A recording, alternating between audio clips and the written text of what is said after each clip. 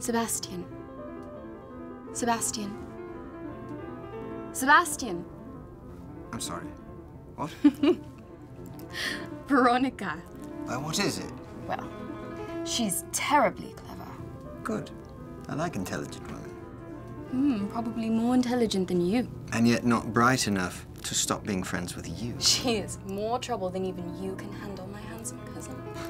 Oh, I doubt that. Oh, I've heard tales about you, Lord Sebastian. From my cousin. They were all scandalous. They were all lies. Oh, I do hope not. What about her finances? A penniless beauty? Far from it.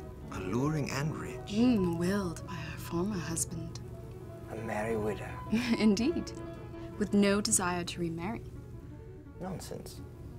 All women wish to marry. What you seem to be missing, my dear cousin, is that the lovely Veronica is certainly not all women. May I ask you a question of a personal nature? You may.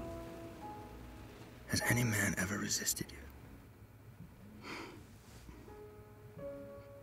May I ask you a question of a personal nature? Of course. How hard did you have to work to get me into your bed? Do you really want to ruin all that hard work by asking me something so silly?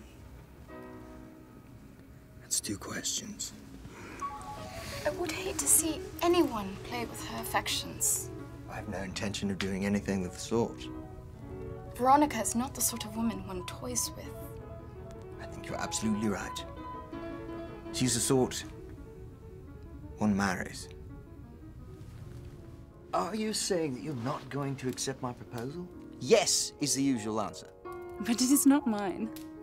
I do not wish to be your wife. But I do have a proposal of my own.